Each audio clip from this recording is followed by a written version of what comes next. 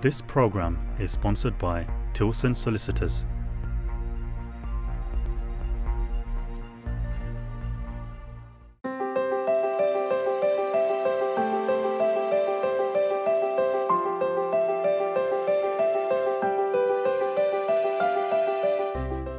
Assalamu alaikum, hello and welcome to another episode of the Legal Forum.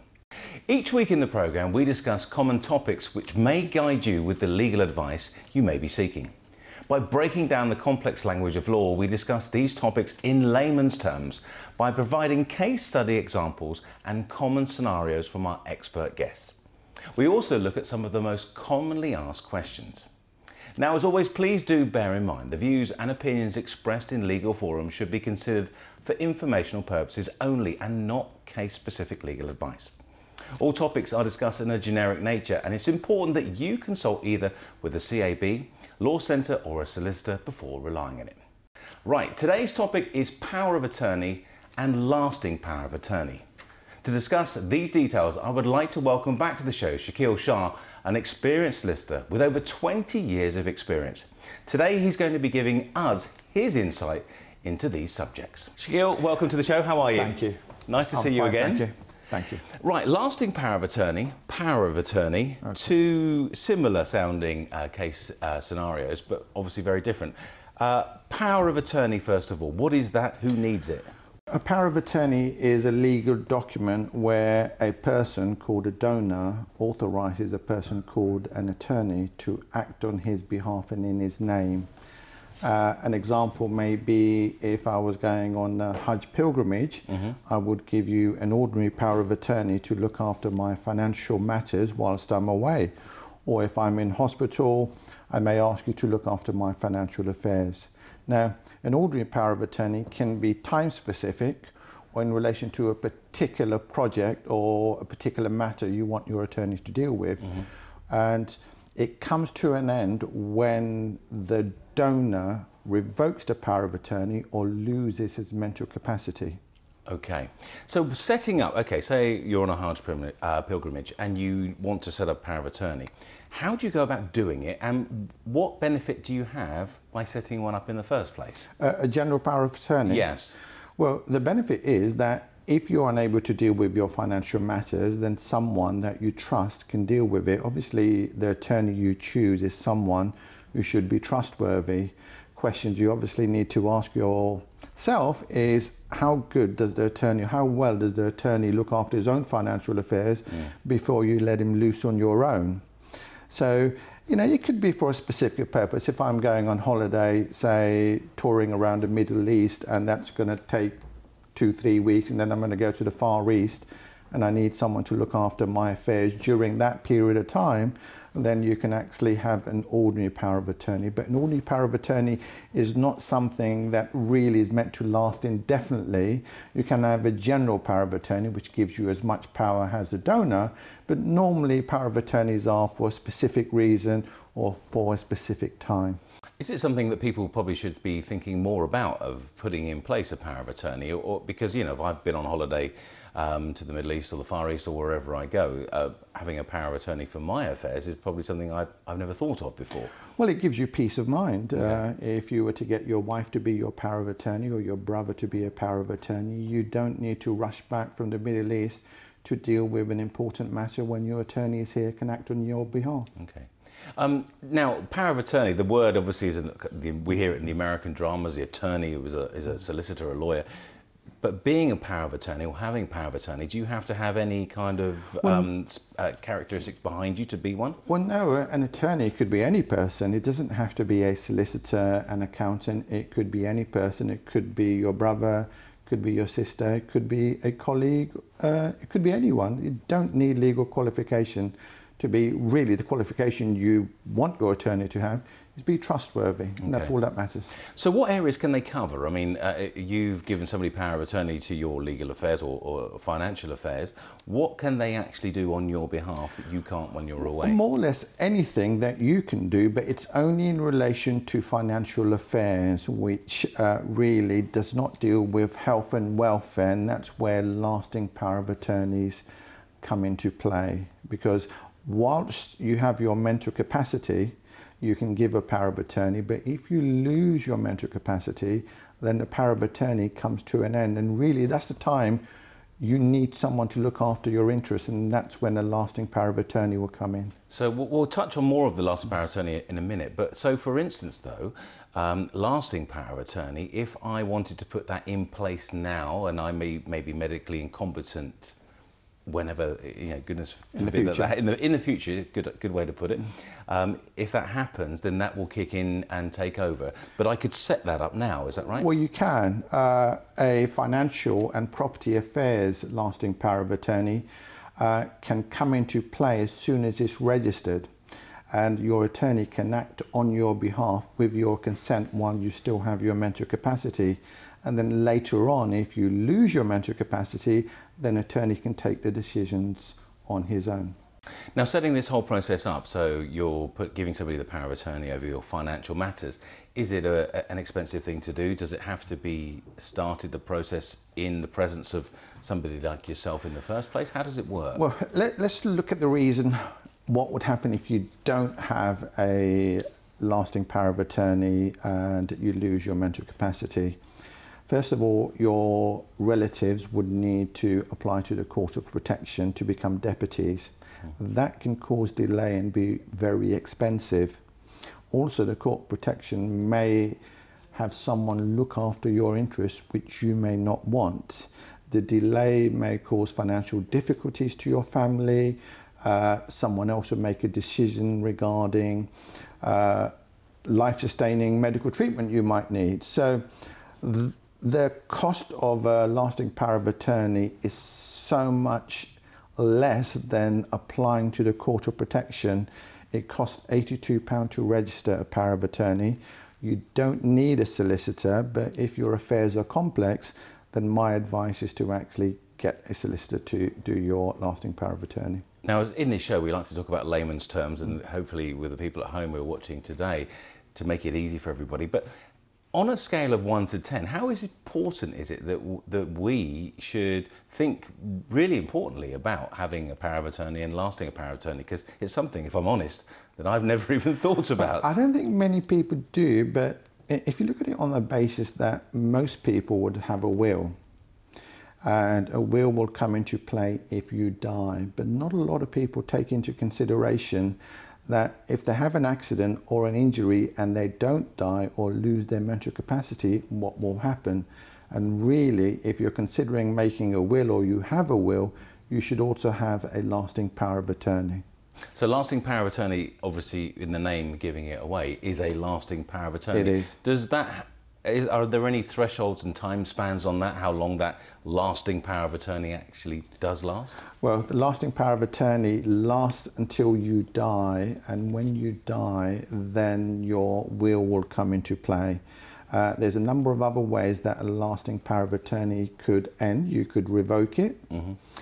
Uh, your, depending on how many attorneys you've chosen, uh, if you've chosen one attorney and the attorney becomes bankrupt, refuses to become an attorney, or your attorney is your spouse, your wife, or your husband, and you get divorced, then they can't be your attorney, in which case your lasting power of attorney will end unless you've actually got replacement attorneys.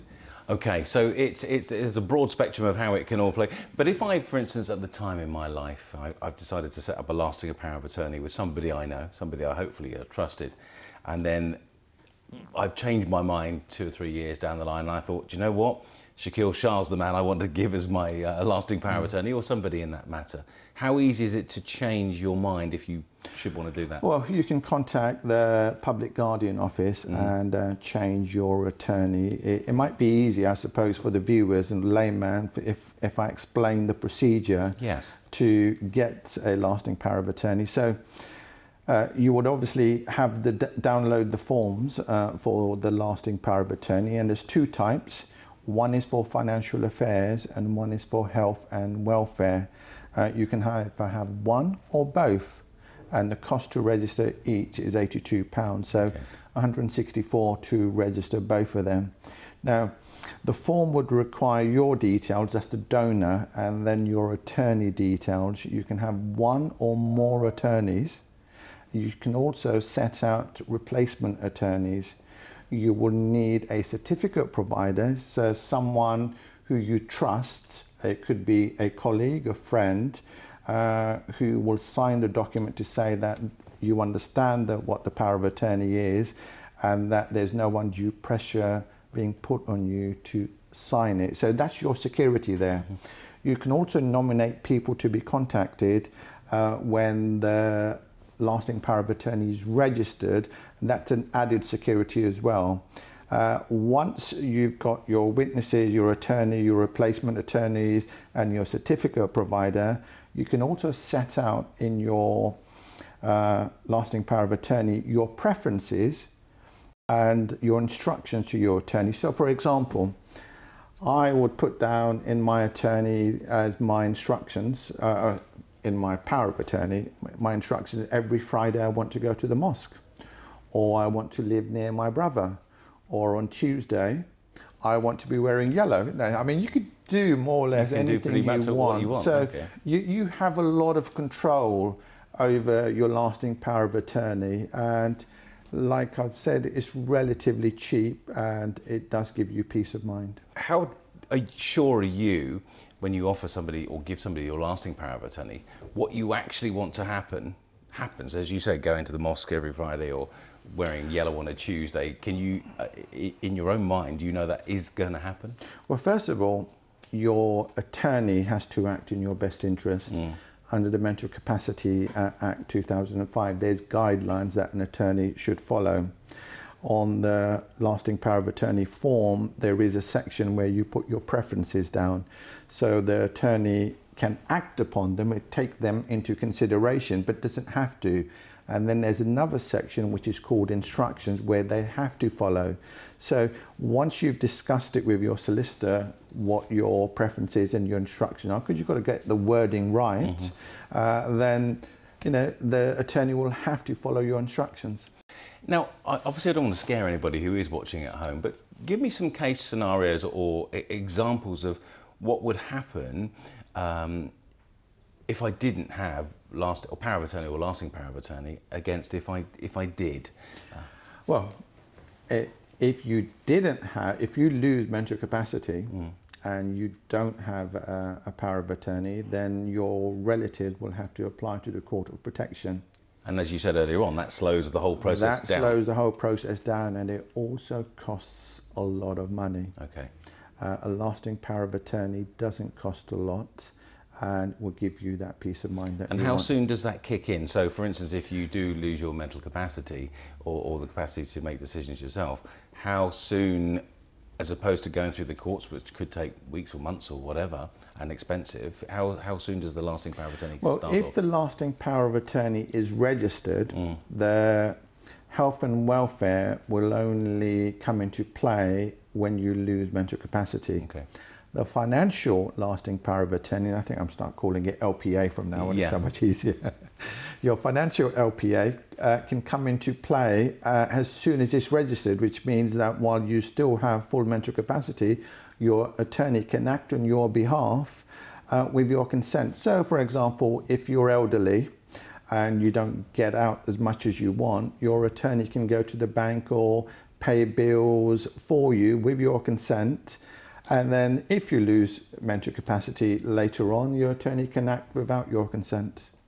Now, with, with, with everything that we, we, have discussed, I mean, what other benefits are there for you? I mean, for instance, um, any tax benefits or anything that, that, that could uh, be advantageous to you by having somebody take care of the affairs in that way? Well, I, don't think there's any uh, benefit in terms of uh, tax uh, lasting power of attorney. It's, it's not so much as maybe a way a will is drafted to save on inheritance tax. Mm-hmm. This is the, the, peace of mind that you will have that if anything does happen, uh, your relative will look, or people you trust will look after your interests. And the reason, obviously, we're talking about it this week on the show is that you, as a very experienced solicitor, will have probably been in court many occasions dealing with people's welfares that uh, haven't had in place LPAs or powers of attorney, um, and it is probably a very distressing time for a lot of the members well, of the family. It is distressing uh, for them. I mean, I was looking at statistics before coming on, and at the moment, uh, 800,000 people suffer from dementia, and the Alzheimer's Society have said that by 2025, 1 million will suffer from uh, dementia. Uh, I was also looked at another statistic that every 90 seconds someone goes to hospital with a brain injury. Mm. Uh, not necessarily someone who's old. So you know, a lot of people think about the lasting power of attorney has, oh, I'm not that old and therefore I don't need one. But there's contact sport. You might play football, you might play rugby, you might be involved in a car accident. There's any number of reasons why you'd want to be considering a lasting power of attorney uh, rather than, I suppose, well, if you don't have one, you, you can see the grief that you will cause your relatives. Well, you, actually, you said a few examples of who would have one, but if you think about it, walking down the street, crossing the road, as you said, riding your bicycle, going on holiday, scuba diving, whatever it is that you well, absolutely. do I mean, in your daily life. Yeah, you can have cancer, you can have cancer treatment, you can have a heart attack, you can have a heart bypass. All of these requires family members around you to support you once you're ill. So it doesn't necessarily mean that a person who's over, say, 80 years of age should consider one. You should consider one whilst you're relatively young. And of course, once you're over 18 and you have mental capacity, you can have a power of attorney well, a great, lasting power great minds think alike because that was going to be my next question. you know, what age would you say somebody realistic? I mean, legally, obviously, 18 and over, but what age would you say somebody should be thinking about having these things covered?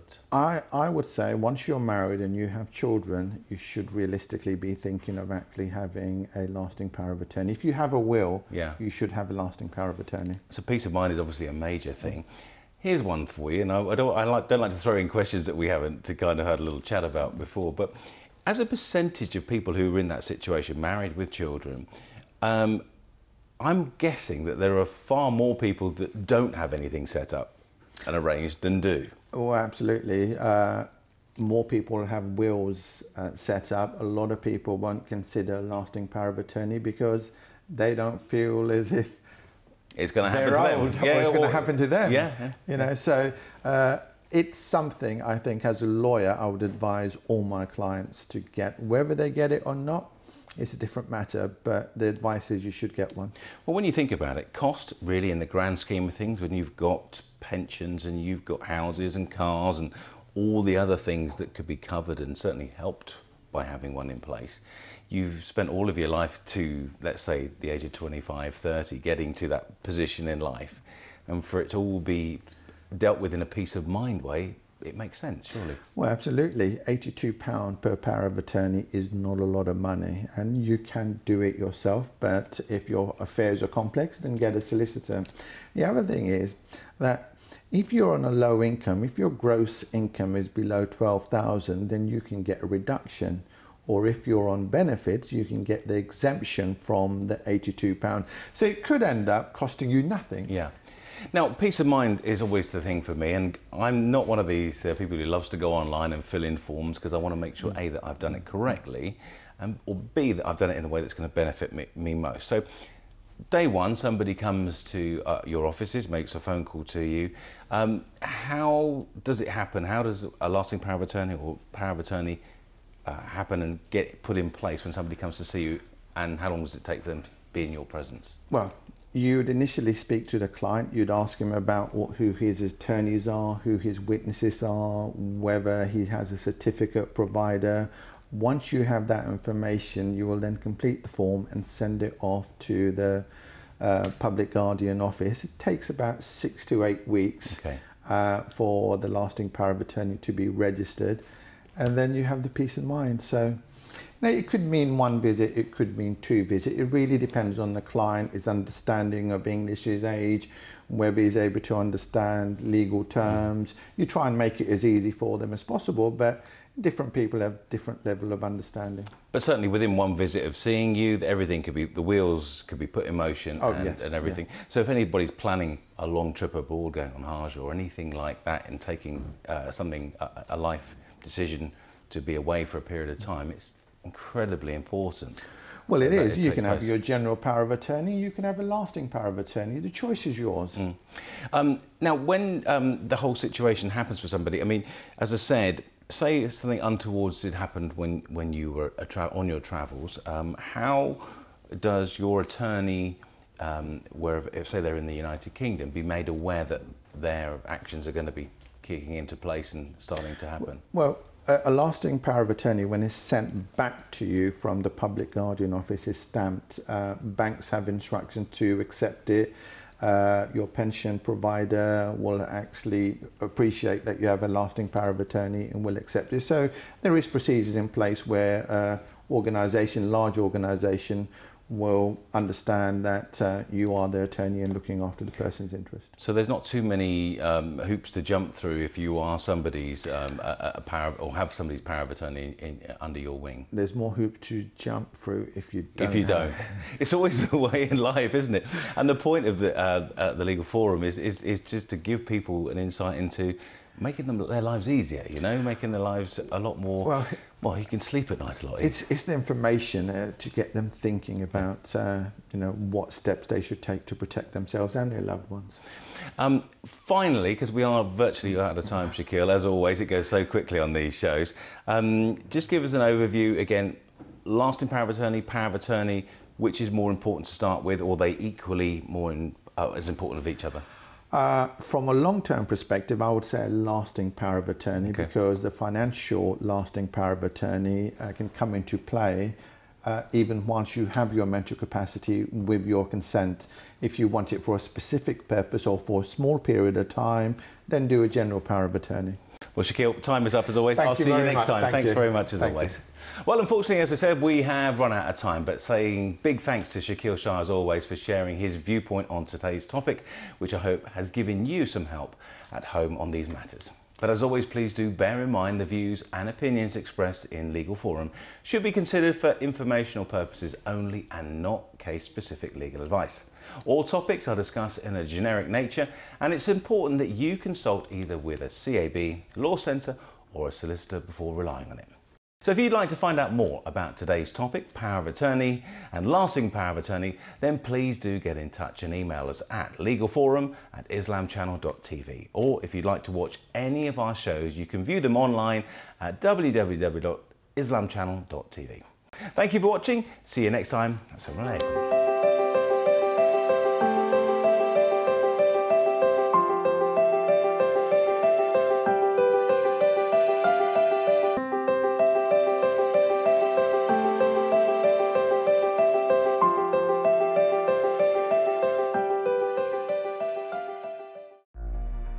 This program is sponsored by Tilson Solicitors.